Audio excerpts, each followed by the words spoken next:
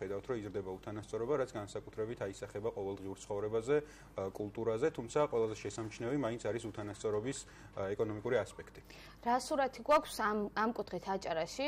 ბათუმის მაგალითზე რა მეტყოლებს მის უთანასწორო განვითარებაზე, რითი შეგვიძლია არათანაბარი საყოფაცხოვრებო გარემოს ამოცნობა და შესაბამისად დაძლევის ხელშეწყობა ამ და სხვა საკითხების შესახებ დღეს ჩვენ სტუმართან, კვლევართან და სოციალურ აქტივისტთან გიორგი ღვინჯილიასთან ერთად გავაგზავნებთ საუბარს.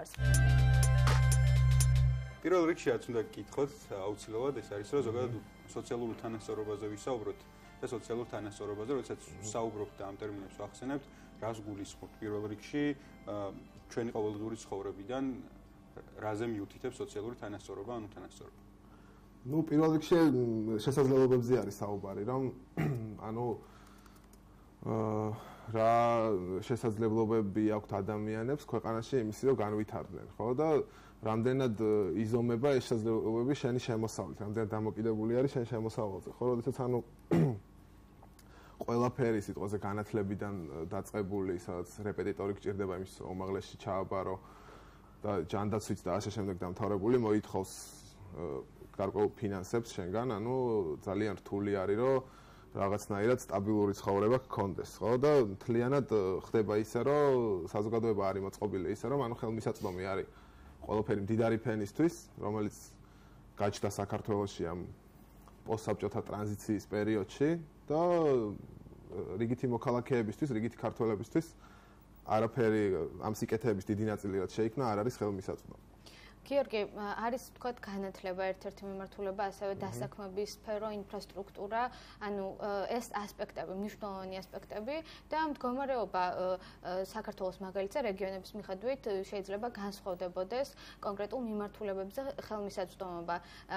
მნიშვნელოვანია იმის გაანალიზებაც, თუ რამ განაპირობა ამ კონკრეტული მიმართულებები თუ თანასწორობა. აი ამის შესახებაც რო ვისაუბროთ.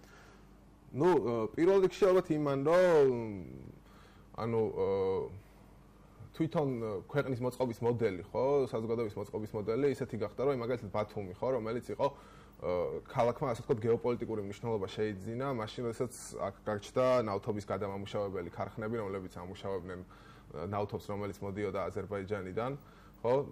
და ეს იყო ასე ვთქვათ გადამამუშავებელი ანუ ქალაქი იყო რომელშიც იყო საწარმოები საწარმოები რომელშიც მიმდინარეობდა რაღაც წარმოება მუშაობა შრომა ასე შემდეგ. ხო დღეს ანუ ქალაქ ბათუმი არის გადაქცეული სერვისის სფეროს ქალაქად და მთლიანად ანუ ისეთი მოწყობა მივიღეთ საზოგადოების რომ სერვისის სფერო გახდა პრიორიტეტული ხო?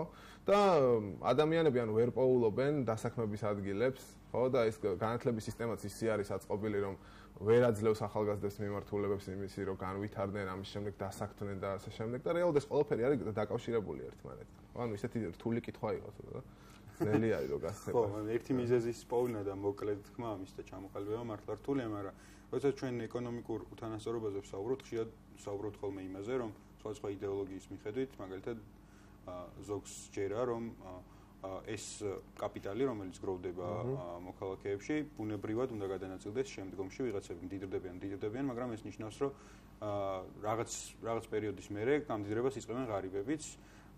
ამ შემთხვევაში ბათუმში როგორ მოხდა? იმიტომ რომ ჩვენ ხედავთ რომ ქალაქი ფაქტობრივად ორი ნაწილადაა გაყოფილი ერთი ნაწილი მართლა მდიდრდება მდიდრდება როგორ აისახება ეს და ყველაზე ნეგატიურად ვიზე აისახება ის რომ კაპიტალის გადადინება გადანაწილება მდიდრიდან ღარიბზე არ ხდება ხო ნუ მე ესეთი განცდა მაქვს ამ ქალაქში რომ ჩამოვდივარ რაღაც წლიდან წლამდე სულ მიწევს ხოლმე აქეთ ყოფნა და რაღაცნაირად ანუ ისეთი განცდა მაქვს რომ აი თუნდაც ის რაღაცა ამ ჭავჭავაძეს იქით ხო ეს ქუჩები რომლებიც არ არის გაკეთებული და ასე შემდეგ ანუ პირველ რიგში ასახავს იმას დღევანდელ პოლიტიკურ ელიტას და დღევანდელ მართველებს ამ ქვეყნის, ვინც უნდა მართავდეს ამ ქვეყანას რაღაც მიმართულებას აძლევდეს.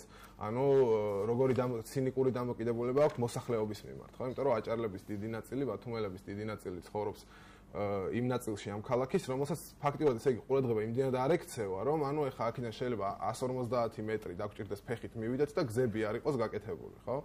და რაც შეეხება ამ კაპიტალის გადანაწილების საკითხს, ხო? ანუ ყველაზე მნიშვნელოვანი ალბათ და ყველა მოქალაქეს ესმის ეს ალბათ კარგად ყველა ბათუმელსაც ესმის, ყველა თბილისელსაც ესმის, არის არა უბრალოდ კაპიტალის გადანაწილება, არამედ საერთოდ ვინ იღებს გადაწყვეტილებებს და ჩვენი ბედი, ანუ ჩვენ გვეკუთვნის თუ არ გვეკუთვნის, ანუ შეგვიძლია თუ არა ჩვენ რო რიგით მოქალაქეებმა, ხო, რომლებიც ამ ქალაქში ცხოვრობენ, ან სხვა ქალაქებში ცხოვრობენ, რომ ავირჩიოთ რაღაც პოლიტიკური განვითარების გზა, ხო? მოვახდინოთ გავლენა იმ გაწოლებებზე, რომელსაც იღებს მართველი კლასი. და ეს უთანასწორობა, ხო, ეს სიტუაცია, ხო, ეს სიტუაცია შრომით ბაზარზე, რომელიც განსაკუთრებით აჭარაში, იმიტომ თურქეთში უწევთ სამუშაო სიარული და ასე შემდეგ, ხო? ეს სიტუაცია ზუსტად შეუძლებელს ხდის ამას, იმიტომ რომ ადამიანები დაკავებული არიან იმაზე ფიქრით, ხვალ დღიდან დღემდე როგორ უნდა გადარჩენ და როგორ შეიძლება რომ ასეთმა ადამიანებმა რაღაც პოლიტიკური სხეული ან რაღაც დემოკრატიული რესპუბლიკა შექმნან, ხო? როდესაც ანუ თავის თავში გულისხმობს დემოკრატია და რესპუბლიკა იმას, რომ ყველა უნდა იყოს ჩართული გაწოდებების მიღებაში და ყველა უნდა ყოველს უნდა ქონდეს იმის საშუალება, რომ გავლენა მოახდინოს იმაზე, როგორ გვინდა ჩვენ რო განვითაროთ. კი, მაგრამ თუ ადამიანს უწევს ფიქრი რა ჭამოს დღეს, მისთვის ანართულია რაღაც მაღალ მატერიებზე. ხო, ეს ერთი, როდესაც უწევს ფიქრი რა ჭამოს დღეს, მაგრამ მეორე არის ეს ნიჰილიზმი, რომელიც ითესება, ანუ რაღაცნაირად იმის შედეგად რომ ანუ შენ უყურებ ამ ყველაფერს და ეს ყველაფერი ხდება შენგან დამოუკიდებლად, ხო? ანუ 10 წელი ცხოვრობ, ხო, რაღაც ოჯახი ყავს, მეგობრები ყავს, ირგვლივ შენსიბლივ უყურებ სამყაროს, ეს სამყარო მიდის თავისი დინებით და შენ ამ 10 წლის განმავლობაში ერთადერთი გივითარდება იმისი უნარები, რომ რაღაცა საიდანვე როგორ იშოვო, ხო, როგორ გადარჩე და ძალიან რთული არის ეს ესეთი ნიჰილიზმის პირობებში, რომ არავინ არ არ გეკითხება და ქართველების 99% დღეს არავინ არაფერს არ ეკითხება, ისე მიდის ქვეყნის განვითარება. ძალიან ძალიან რთული არის, რომ რაღაცა ის გქონდეს, აკვე мотиваცია და სამოქალაქო იმის განცდა რა. გიორგი, შენ დაწერე სტატია ბათუმი უთანასწორო ქალაქი და ერთ-ერთი ქვეთავი იყო აჭარლების სტუმრად აჭარაში.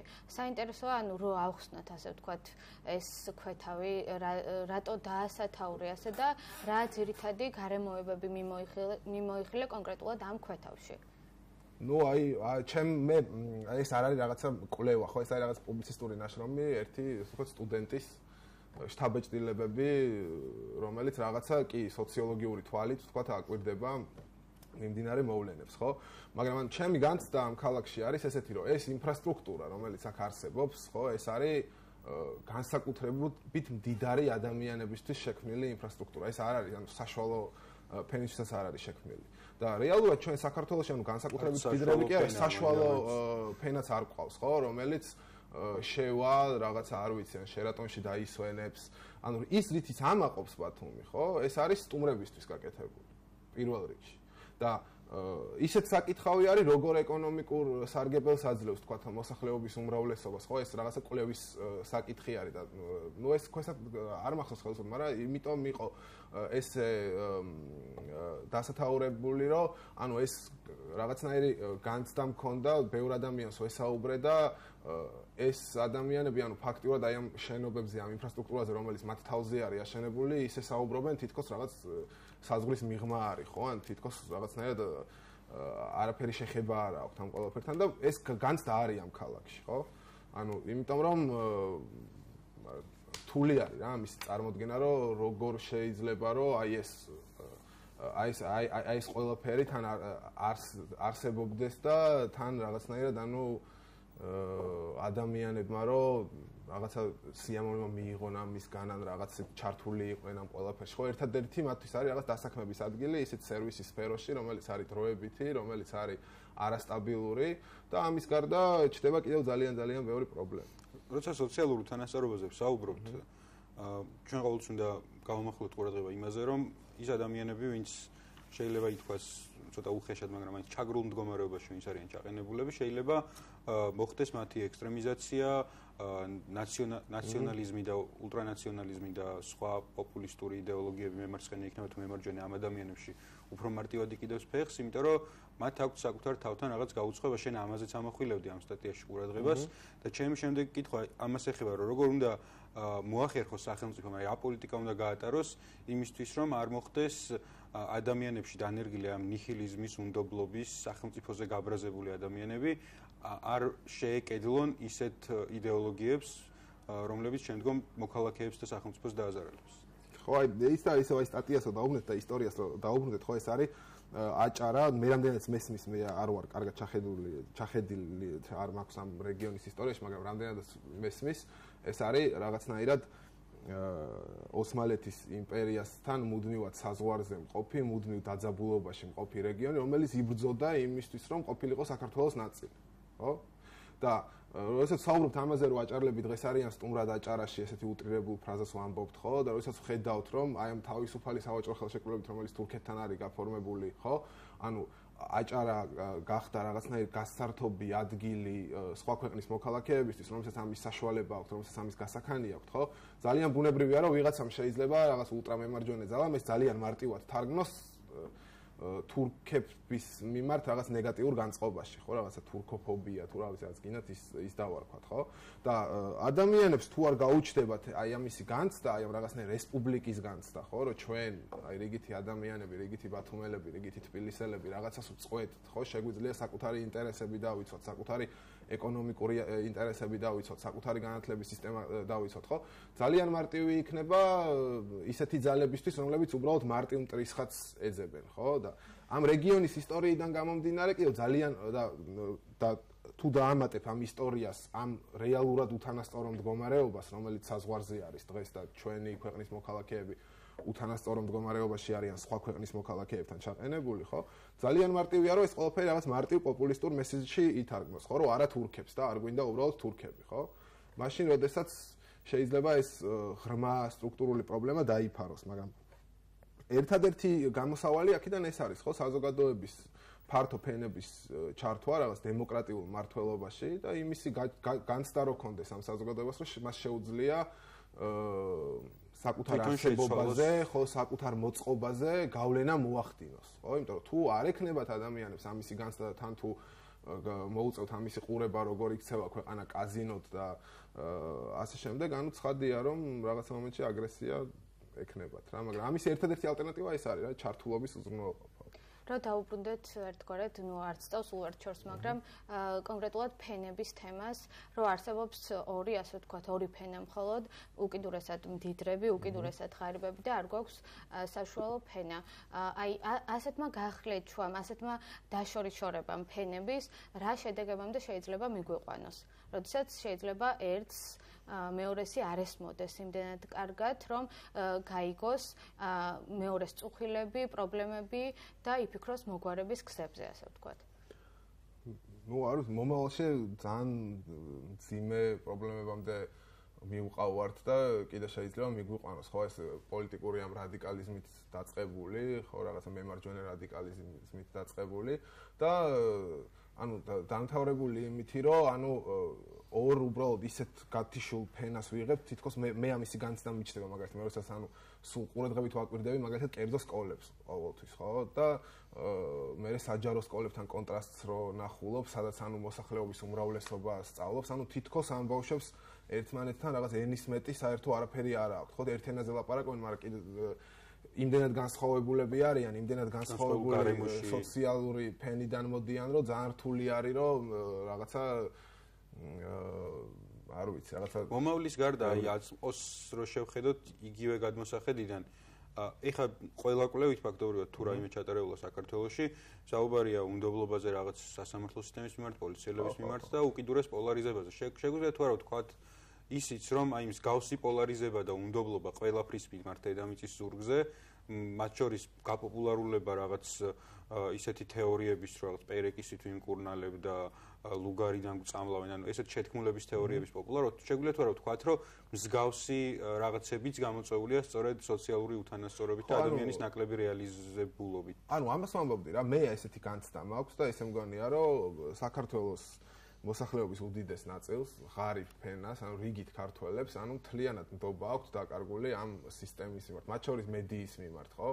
სახელმწიფო სისტემის მიმართ. და იმიტომ რომ ანუ არ აქვს იმისი განცდა რომ იქ ვიღაცა არის მათი ინტერესების გამტარი ხო ჩვენი ინტერესების გამტარი და ვიღაცა ჩვენს ენაზე საუბრობს და რაღაცა მით უმეტეს კიდე კარგის გაკეთებას ცდილობს ჩვენთვის და ანუ როდესაც ამ ფენებს შორის გაუცხლებაზე საუბრობთ ხო აი როდესაც წენ სკოლაზე ვლაპარაკობდით და ანუ აი ეს სიტუაცია არის რა რეალურად ანუ მუდმივად ხდება რაღაც ახალი ელიტების აღზრდა და იმისთვის რომ შენი შვილი აღმოჩნდეს ახალ ელიტაში შენ ძალიან ბევრი ფული უნდა გქონდეს ხო ანუ ცოტა ფულით ამის გაკეთება შეუძლებელი არის და ხდება რაღაცნაირად აი ამ ახალი ელიტების წარმოება, წარმოება, წარმოება და ეს ხალხი უყურებს ამას და უფრო და უფრო მეტი უნდობლობა უჩნდება მათ მიმართ. იმიტომ რომ ანუ მე რო უყურებ ხა მაგალითად ახალგაზრდა პოლიტიკოსებს, რომლებიც გამოდიან და გამოჩნდებიან ხოლმე და კიდევ უფრო თითქოს უარესები არიან ვიდრე ის წინა პოლიტიკოსები, იმიტომ რომ ანუ რაღაც აი თითქოს ხო ახალგაზრდაა და უნდა მოდიოდეს რაღაც ახალი იდეებით, უფრო უკეთესი უნდა იყოს, ხო?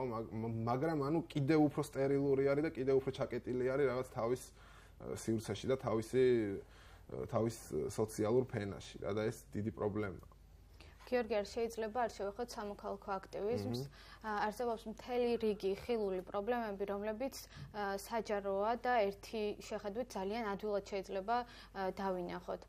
და დავიწყოთ საუბარი. თუმცა ხშირია მაგალითები როდესაც არ ვიწყებთ საუბარს მანამ სანამ კონკრეტული მკვლევარები ან არასამთავრობო ორგანიზაციები არ შეეხებიან არ დადებენ თქვათ რაღაც ანგარიშებს ამ მიმართულებით. საინტერესოა რა როლი ეკისრება ამ ამ მომენტში სამოქალაქო ინიციატივებს და აქვე შეგვიძლია განვიხილოთ ერთგვარად მოქალაქეობის პასუხისმგებლობაც რამდენად გვაქვს გააზრებული. რამდენად არის ეს ჩვენ საზოგადოებაში გააზრებული? ანუ ნუ ერთი რაც თქვით ხო რომ დიდ ნაწილს მოსახლეობის არც დრო აქვს ამისი და არც საშუალება და არც სურვილი ხო რომ რაღაცა ესეთ პასუხისმგებლობაზე იფიქროს და ვიღაცებზე არის გადაბარებული ეს ხო აი ამ არასამთავრობოებზე, რაღაცა პროფესიონალ აქტივისტებზე, ჩემ ჩემს გავს ადამიანებზე, ასე თქვა, რომლებიც ანუ უნდა თქვან და რაღაცა რაღაცას მიმართულება უნდა მისცენ და ანუ პრობლემა არის აქ კლევის ნაკლებობაში კი არ არის პრობლემა, ხო, რომ რაღაცა მე მაგალითად საერთოდ არ მგონია, რომ ესაც ჩვენ საუბრობთ რაღაცა ჩვენი ქვეყნის ბედის გაწყვეტაზე, მაინც და მაინც აი რაღაცაზე რომ აი ეს ესე არ უნდა იყოს ხო? ეს მაინც და მაინც რაღაცნაირი კვლევით და მეცნიერული ციფრებით უნდა იყოს გამყარებული და ასე შემდეგ. ანუ უფრო მეტად მგონია რომ პრობლემა არის ის რომ აი ამ პროფესიით აქტივისტებმა და მკვლევარებმა და ასე შემდეგ ანუ დაკარგეს კავშირი ფართო საზოგადოებასთან ხო? და მთელი აი ეს თქვა აქციების ორგანიზების პროცესი ასე შემდეგ ეს არის 10-15 ადამიანი წყვეტს რომ Facebook-ზე გააკეთოს რაღაცა ივენთი. მე ანუ შენ სადღაც ზიხარ სახში და ნახავ რომ აი ივენთია გადაწყვიტავ გინდა თუ არ გინდა წასვლა. ხო როდესაც ანუ სოციალური მოძრაობა გულისხმობს საერთო დემოკრატიული სტრუქტურის შექმნას სადაც ყველა ადამიანს ექნება იმის საშუალება რომ გავლენა მოახდინოს პროცესზე კულტურული გაცვლის პროცესზე პოლიტიკური განათლების მიღებაზე რაღაცას რაღაცის რაღაც მოქმედების განხორციელებაზე, ხო, მაგალითად, რომ არ გვინდა აქ რო აშენდეს корпуსი, ხო და როგორ უნდა ორგანიზდეთ, ხო, რა უნდა მოვითხოვოთ. ასე შემდეგ. ამ ჩემს ყველაზე დიდი პრობლემა ეს არის, ანუ აქ არა უბრალოდ სამოქალაქო პასუხისგებლობაზეა საუბარი, ამედ ერთი რომ სამოქალაქო პასუხისგებლობა რაღაცა როგორც პურის ცხოვა, პურის მცხოველზე არის გადაბარებული, ისი არის თითქოს გადაბარებული, რომ ვიღაცა სამოქალაქო პასუხისგებლობის უნარი უნდა კონდეს და ამით უნდა იყოს პროფესიონალურად დაკავებული და მე კიდევ ეს ხალხი, ვისაც პურის ცხობა აქ ასე ვთქვა ჩაბარებული ფაქტიურად ანუ არ ზრუნავენ იმაზე რომ შექმნან მოძრაობა მისი ანუ რაღაც ორიგინალური გაგებით რა მისი რეალური გაგებით. იმიტომ რომ მოძრაობა არის რაღაცა რაც ფართოვდება რაღაცა რაც ყოველდღე მუშაობს რაღაცა რაც მარტო სოციალურ ქსელში კი არ არის და ტელევიზიაში წარმოდგენილი. არამედ წარმოდგენილი არის ყველგან სადაც ადამიანებს პრობლემები აქვს და ყველგან ცდილობს რომ ყოველას გამოცდილება გაიზიაროს იმათგან ისწავლოს თვითონაც ასწავლოს და შექმნას რაღაცა ერთიანი სააზროვნო პროცესი. და ესეთი მოძრაობა ჩვენ არ გვაქვს საქართველოში და არ გქონია. მე მეც ხშირად გამჩენია იგივე კითხვა და საბოლოო ჯამში ყველაფერი ფინანსებთან ვითის მეგონი ხო? არც არავის არ აქვს ფინანსები, რომ მსგავსი მოძრაობის. ნუ აი არ არ ვარ და ისა ფინანსები მნიშვნელოვანი საკითხი არის, მაგრამ აი მე არ ვარ დარწმუნებული, რომ მხოლოდ მხოლოდ ფინანსებში არის. სახელმწიფოს პოლიტიკას რო დაუბრუნდეთ, ისევ ჩვენ ხშირად საუბრობთ ამ ეთერგიან მათ შორის იმ კარგ და უფრო მეტად საუბრობთ ხოლმე სულ რაღაცებზე, რაც სახელმწიფოს პოლიტიკაში შეგვიძლია ჩვენ ვიპოვოთ. ამ მიმართულებით აი ხა სულ ბოლოს მომხდარი რო გავიხსენოთ 600000 ვალის დაფარვა. ან სოციალური შემწეობის გაზრდა და ესეთი რაღაცების პერიოდულად ძირითადად არჩევნებამდე გაკეთება. ნიშნავს თუ არა რომ სახელმწიფო რეალურად ან არ არის დაინტერესებული კონკრეტული პრობლემების მოგვარებით, ან სურს რომ ეს ადამიანები კიდევ უფრო დამოკიდებულები დამოკიდებული გახადოს საკუთარ თავზე, იმისთვის რომ მას ყავდეს ელექტორატი, რომელსაც ადვილად გააკონტროლებს. ხო, ის რა არის რომ ეხლა რომ რაღაცა ტერმინების ახარუხი დავიწყოთ და რაღაცების ახსნა დავიწყოთ, ძალიან შორს წავალთ რა, მაგრამ აი როგორც გზების საკითხში ჩანს ამ პოლიტიკური კლასის ცინიკური დამოკიდებულება ხალხის მიმართ, ხო? და როდესაც ის ვინც ამ წყაროს ძალაუფლების წყაროს აზის, ესეთი ცინიკური არის და ყველანაირი ბერკეტი აქვს იმისთვის, რომ მედიის შეზღუდვიდან დაწყებული, ხო, და სასამართლოს კონტროლით დამთავრებული და ვიღაცების რუპორების ყიდვით და ასე შემდეგ, ხო? ანუ ძალიან რთული არის რაღაცა ესეთი დემოკრატიულ სისტემაზე საუბარი, მაგრამ აი მაგალითად ნაციონალური მოძრაობიდან რომ დავიწყოთ, ხო, აი მაშინდელი ეს ვაუჩერების დარიგება, ხო, პირველი რაც დაიწყო და მე აი ამ კარტოფილით დამთავრებული, ეს ძალიან კარგად აჩვენებს ისევ ამათ ცინიზმს, რა როგორც აი ეს გაუკეთებელი გზები, რა, იმიტომ რომ ანუ რაღაცნაირად ეს ამ ფენომენებზე რო ვფიქრობ ხოლმე, ანუ იმისი განცდა მიჩნდება ესენი რესტორანში რო დაждდებიან, მე როგორ ლაპარაკობენ რიგით ქართველებზე, ხო? ანუ აი რო აი 600000 ვალი გადავიხადოთ, ის გავაკეთოთ, ეს გავაკეთოთ, ანუ ეს ცუდი არ არის თავისთავად, არც ვაუჩერების დარიგება არის, არც სამოვალების გადახდა არ არის ცუდი თავისთავად, მაგრამ ეს თვითონ ეს ასიმეტრია არის ძალიან მძიმე. ანუ ცუდია პირიქით, იმიტომ რომ ამ თანხის წყობ პოლიტიკაში დახარჯვა, გაცილებით უფრო კარგ შედეგზე გაგვიყვანდა, ვიდრე აი ესე ჯერადი. ნუ ეს რთული საკითხი არის ხა იქ რთული არის ხა ამაზე სპეკულირება, რომ თქვა ის ჯობია თუ ეს ჯობია, მაგრამ ანუ თვითონ ეს ასიმეტრია დამთრგუნველი არის ძალიან. რა რომ ისიც კარგია რომ ვიღაცას კარტოფილი ექნება, ხო? ეხლა რა რა აზრი აქვს იქ ვინ შემოხაზა, ხო, იმ ადამიანმა საბოლოო ჯამში რო თქვა, იმიტომ რომ ეს რაღაცნაირად ისეთი არჩევნები გვაქვს წლიდან წლამდე, რომ დიდად პრინციპში არაფერი არ წყდება, ხო? და აა ესეც კარგია, ხო, იმ კარტოფილი რო შეჭამა იმ ადამიანმა, მაგრამ თვითონ აი ეს დამოკიდებულება არის ძალიან ცუდი, იმიტომ რომ რაღაცნაირად აი მასად რო აღგიქვამენ და რომელსაც უბრალოდ შია წყურია და შენ რაღაც საჭირო მომენტში საჭმელი უნდა მიაწოდო იმისთვის რომ მოეწონო, აი ეს არის ძალიან გამაღიზიანებელი და დამთრგუნველი. ერთი კითხვაც. ერთი კითხვაც. ბუნებრივია თუ რაღაც ზოგადი ფორმულებით შეგვიძლია მოგვიწეოს საუბარი თუ როგორ შეიძლება სოციალური უთანასწორობა დავწლიოთ.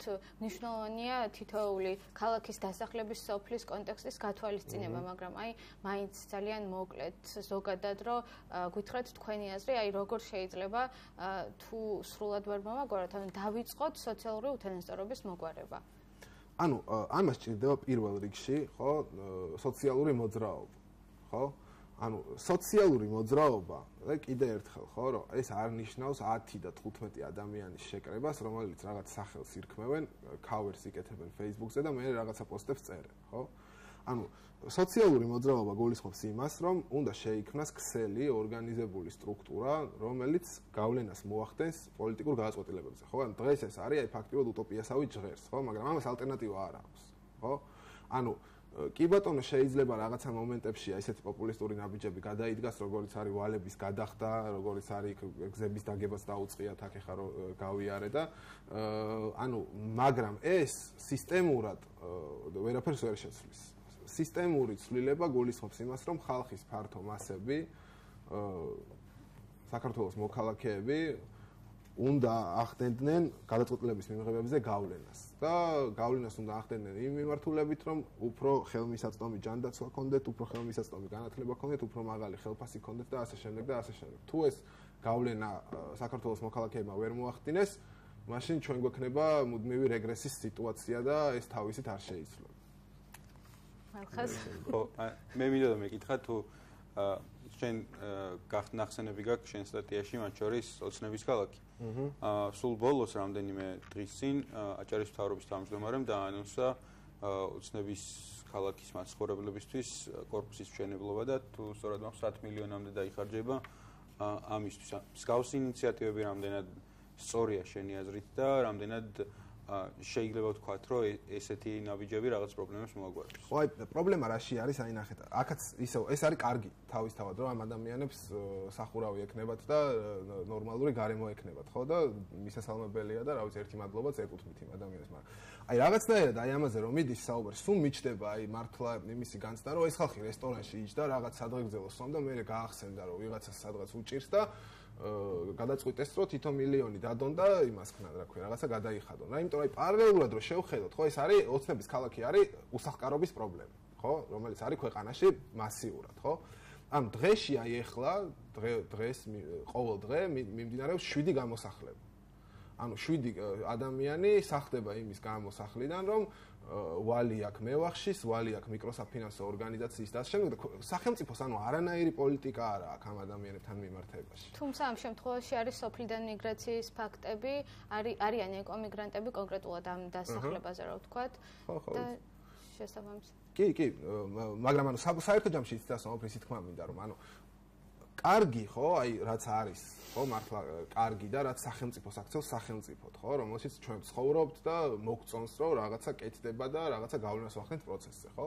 არის უბრალოდ სისტემური მიდგომა, სადაც ანუ აი ეს ყველაზე ღარიბი უსახკარო ადამიანები უნდა იყვნენ იყვნენ სისტემურად დაცულები. იმისგან რომ არ გამოასახლებენ სახში და იმისგან მე თუ გამოასახლებენ რა შეიძლება რომ სახელმწიფო მათთვის გააკეთოს და ასე შემდეგ. და როდესაც ანუ ყავს გაბატონებული კლასი, ხო, რომელიც ანუ ერთი ხელით მიკროსაფინანსოების და სამევახშეო სექტორის და ასე შემდეგ გამოყენებით ამ ხალხს სახლებიდან ასახლებს და მე მეორე ხელით შეიძლება რაღაც ამ მომენტში 10 მილიონი გადაუგდოს და ამის გაპიარება გააკეთოს და ასე შემდეგ, ხო? ეს არის ანუ რაღაცნაირი ნახევრად საქმეც არ არის, ანუ რეალურად ერთი მეორეს გადასაფარად კეთდება რა და ძალიან ბევრი არიან სხვათა შორის აი მევახშეების საკითხში რომ ჩაიხედოთ და მიკროსაფინანსოების, ანუ ესე იგი შეიძლება ერთი 100 კაცი გამოასახლონ და მე პიარს იკეთებს ადამიანი იმითი რომ სამი უსახკარო, სამ უსახკარო საჩუქა ბინა რა და თელი ეს სახელმწიფო ხო მე ამას მაგონებს პირადად რა. მიუხედავად იმისა რომ ის ისიც კარგია რომ ის სამი უსახკარო ბინის garaში არ დარჩება ხო მე მგონი ეს იყო სულ რაზეც და ამჯერად შეგვეძლო საუბარი მე ჩვენ კიდე შევხვდებით ამ ეთერში სხვა ეთერში რა ვიცი რამდენჯერაც ბათუმში იქნებით სასიამოვნო იყო ჩვენთან სტუმრობა სხვათა შორის ჩვენთვისაც სასიამოვნო იყო. ძალიან სასიამოვნო იყო. წარმატებებს გისურვებთ მოკლედ და დიდი მადლობა